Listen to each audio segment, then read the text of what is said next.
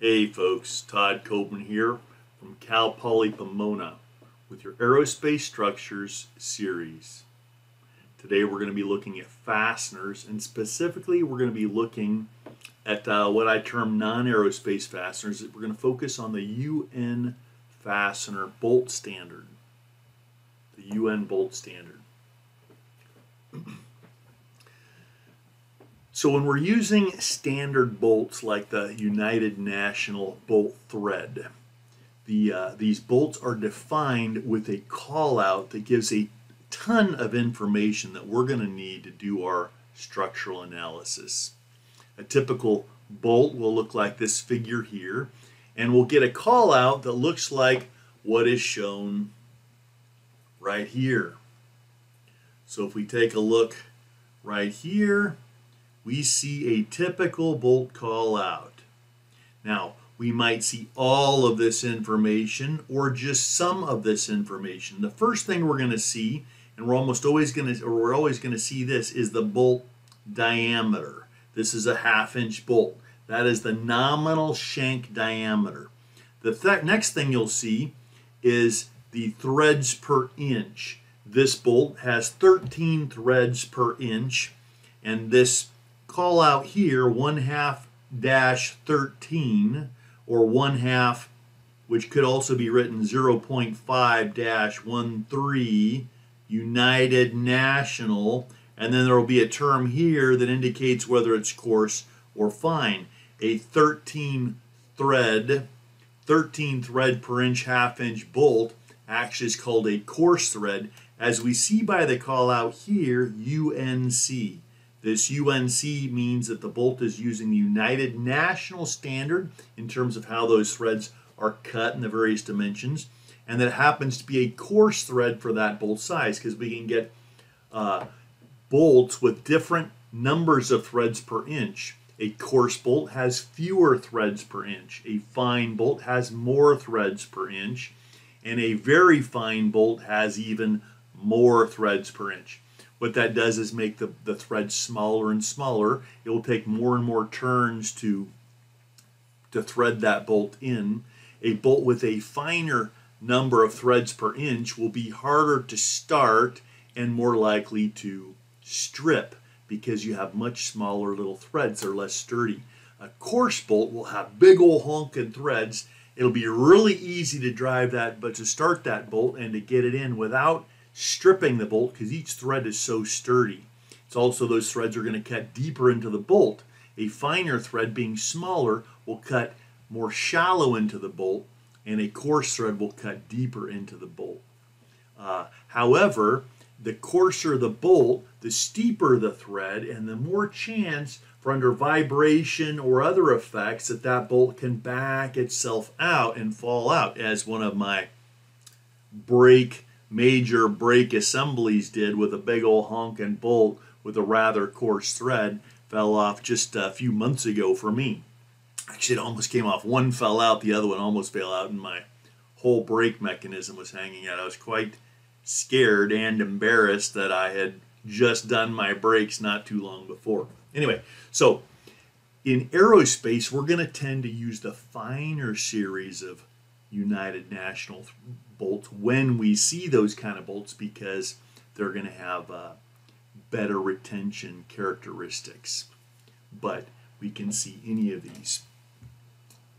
All right, so let's clean this up and look at what else we have. So we said we have first the diameter call out and then the threads per inch call out. It's usually not a one half cross or X 13. It's usually a 1 half dash 13 is the way you'll see this. And then you'll have another dash and then the length of the bolt. Often this is left off, but for clearer specification, this will have the bolt length. We'll talk about the different lengths in a moment.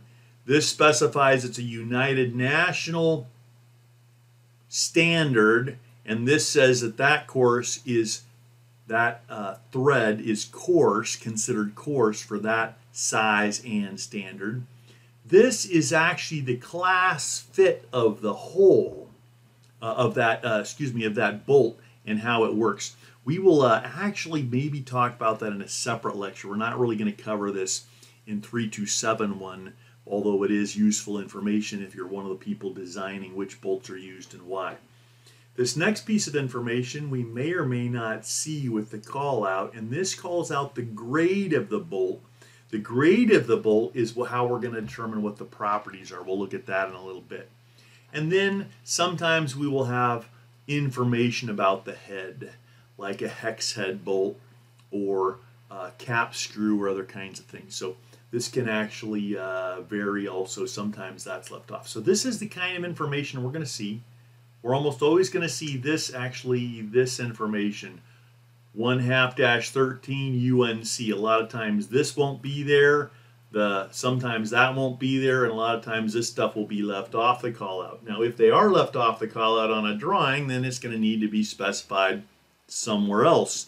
Otherwise, you're just relying on whoever's putting the parts together to guess and pick whatever they want.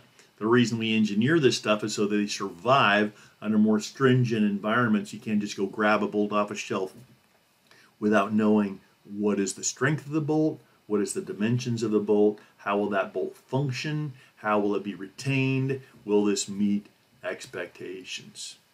So all this information is available in the bolt callout. So we can expect whenever we see a bolt uh, to have a call out that tells us the critical information. Now, in this class, I will often give you bolt callouts that only have some of this information.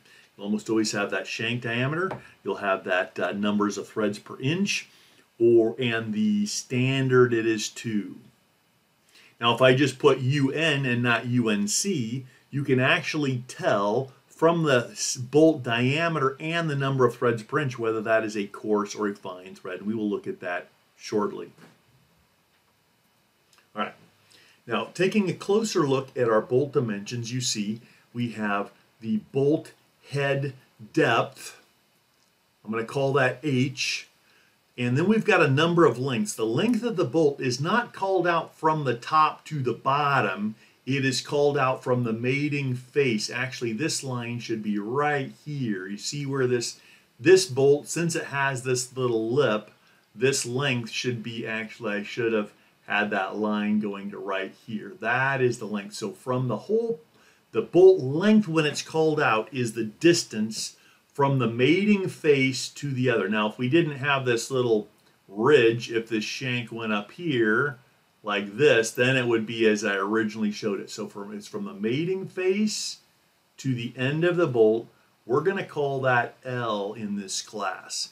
And if you're out there in industry, you can use call it anything you want. You can call it Henry or George. However, if you follow consistent nomenclature, uh, you'll find it easier not to mix up some of these values because there are a number of lengths we need. So if you use the ones I have, these are a function of the experience I have in industry and in teaching. In industry, I used a lot of stuff without being completely precise because I knew what I was doing to a certain degree, and I knew what I was not missing. But as I began teaching, I started realizing I really need to tighten up this nomenclature because when people are learning, it's not all obvious, and to help them to understand what all these different pieces mean and when they're used. So we're going to call this L. We're going to call the the length of the shank, the place that's not threaded to that mating face, we're going to call that LS. We're going to call out the distance or the length of the bolt that's threaded, we're going to call that L sub T. Sometimes I'll use a capital T. I'm going to try and stick with that lowercase t. Okay, these are some key dimensions that we're going to be needing. Now we're going to need fewer of these here at the beginning, but later as we learn different principles, we're going to come back and use some of these other terms, and you're going to need to understand what those are. Okay, the next major thing, you'll notice that our bolt callout had a diameter and it had a number of threads per inch. So the threads per inch, we're going to use a large N, capital N, to represent the threads per inch. You got to be careful because we use N for so much in this class and in engineering, but we're going to use it when we're talking about bolts as the number of threads per inch. And we're going to find out that that is 1 over the pitch. That the threads per inch is the number of threads for every inch. We're going to, uh, so you can kind of see that here. And the pitch is uh, the inverse of that the pitch is the inches per thread.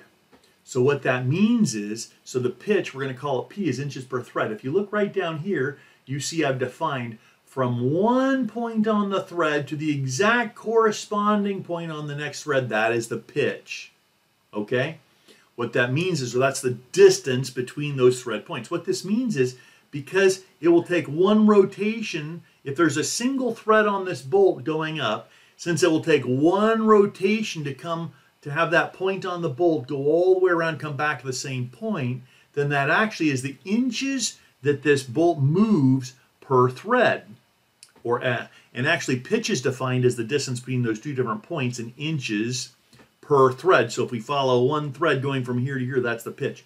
However, we're going to find if there's only a single thread on the bolt, that's also how much that bolt will advance. We'll look at that in a moment again.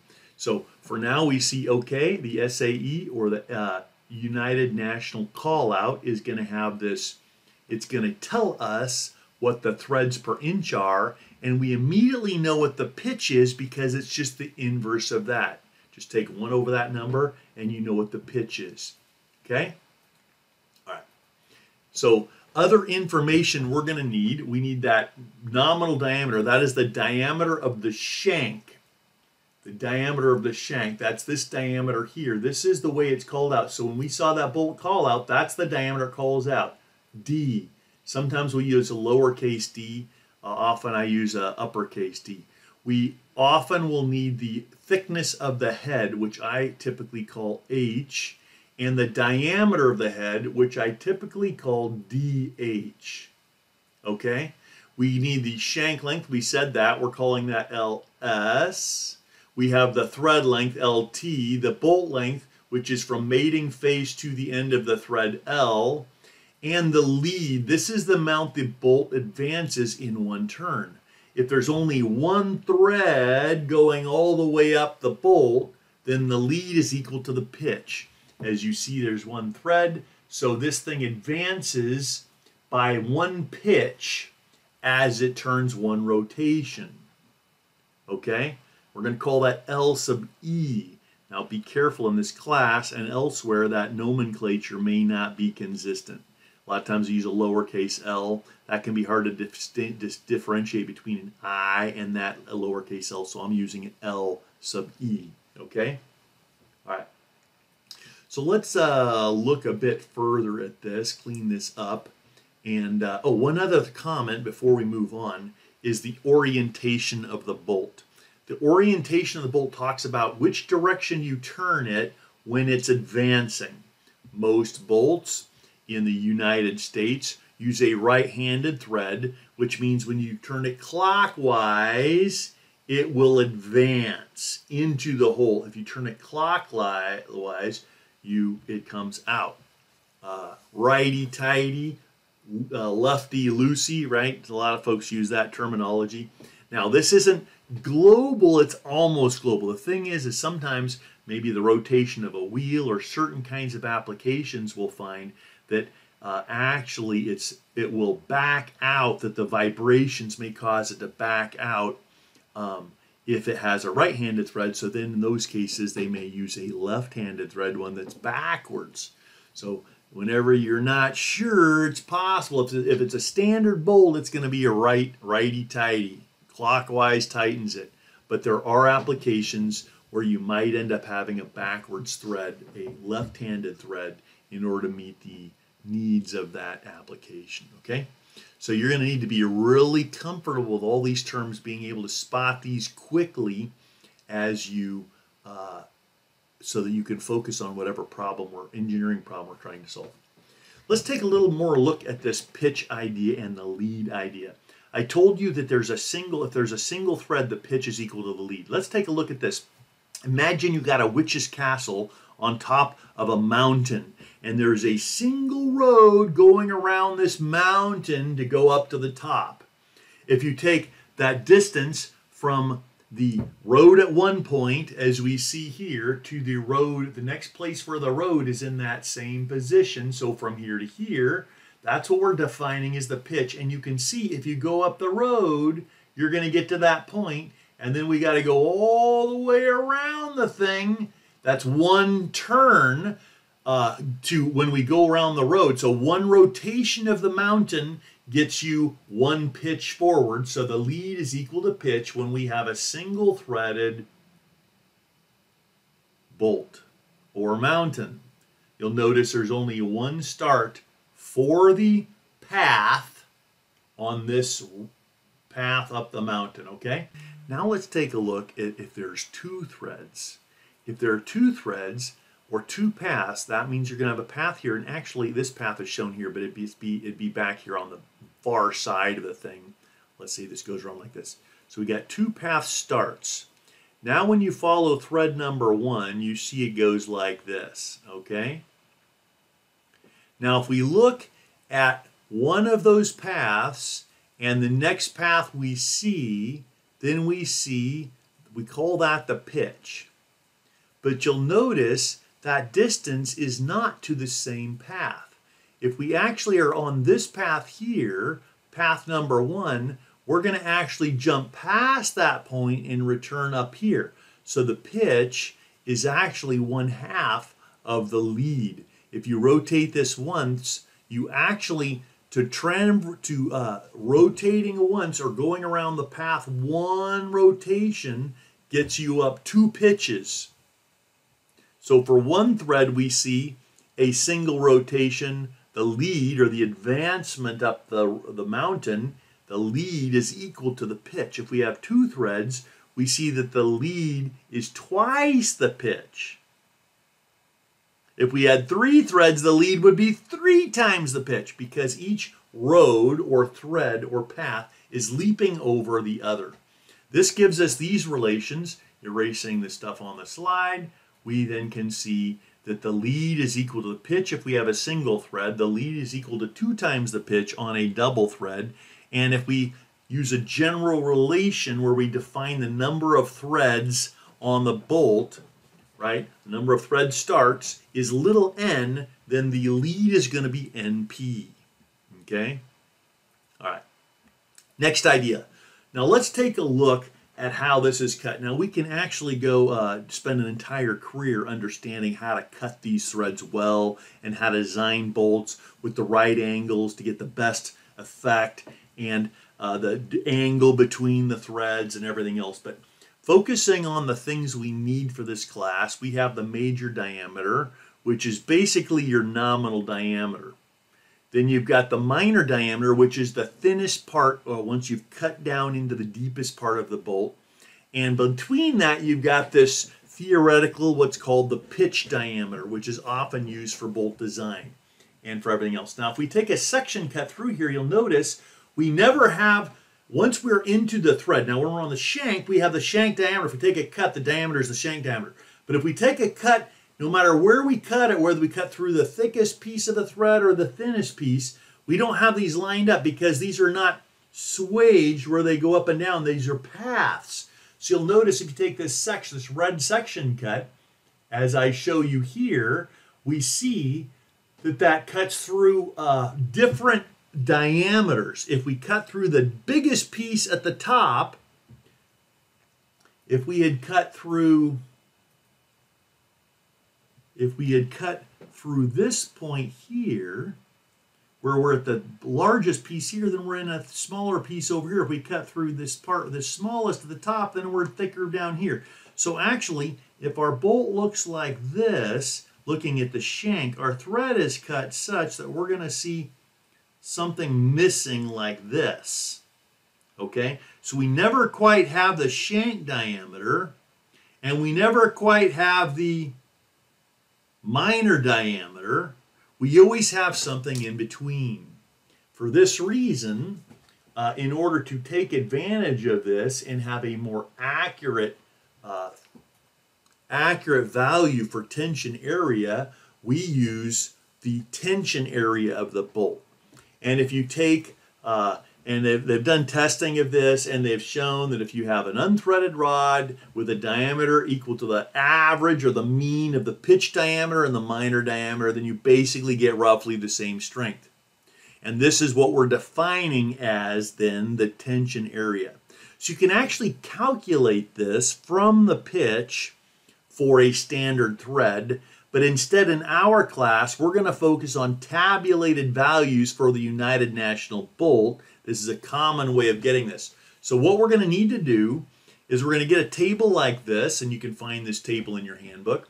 You've got the size here, and that's the diameter that we saw in that bolt call out. We saw that, we looked at that half inch diameter bolt before, right? This is the decimal equivalent to that. Sometimes when we get very small, like a number 12, number 10, it's no longer the actual diameter that's called out. It's just an integer. A 12 is a 0.216. A 10, number 10 is a 0.19 or 0.1875. Okay, so this says the half inch diameter, but now you'll notice here that we've got, this is like two tables in one because these the, this, these two columns go with all the data over here, but then we have this piece of data for coarse threads and this piece of data for fine threads. So if we see a half, and, and they're also very fine threads, you're not seeing these in extra coarse, we're not going to showing those. We're going to just focus on these most common of bolts. If we have a half inch bolt, it might have 13 threads per inch or 20 threads per inch. If it's 13 threads per inch, we call that coarse. If it's 20 threads per inch, we call that fine. And if it's 13 threads per inch, then our tension area is this value, 0.1419 inches squared. And if we have 20 threads per inch, then it's 0.1599. Remember I told you if we have a finer thread, then the thread doesn't cut as deep in, so we have a little larger tension uh, area, which means that's going to perform a little better in tension, although those threads are going to strip easier okay? So be sure you can read this. What this means is if we have, a, say, a one inch bolt, a one inch dash eight, eight threads per inch is a coarse bolt. A one inch dash 12 is a fine bolt. A quarter inch dash 28 is a fine bolt. It's a fine thread. A one quarter dash 20 is a coarse thread. So whether we have a fine thread then we're going to, if we have a fine thread, then we will find the tension areas here. And if we have a coarse thread, we will find the tension areas there. So whenever we're analyzing this bolt for tension, this is where we're going to get that data. Now, if we load this bolt in shear, normally your, your, uh, your part will be designed so that if we have a bolt clamping up a couple plates, we'll have threads down here and the plates will be laid out so that when they are put together that the shear plane is here at the shank. Otherwise it's a poor design.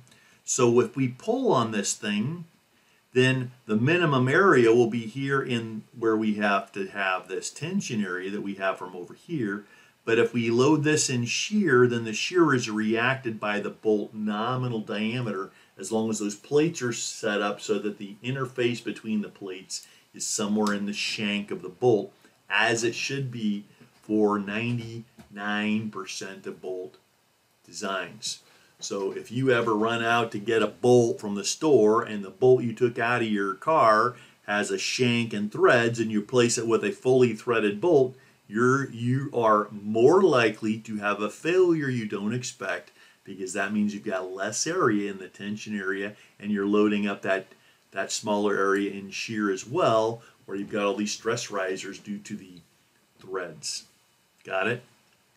Okay, now if we want the, if we know what the grade of the bolt, if we have an SAE version of the United National Bolt, then uh, we look at the grade. You'll notice this leftmost column lists out some grades for the SAE standard bolts. So if we have a grade 8, that's a very common bolt.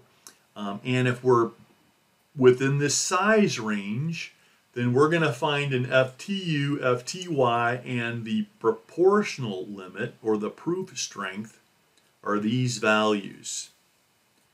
150 KSI FTU, 130 KSI FTY, 120 KSI proof strength. We'll look at that proof strength in a moment.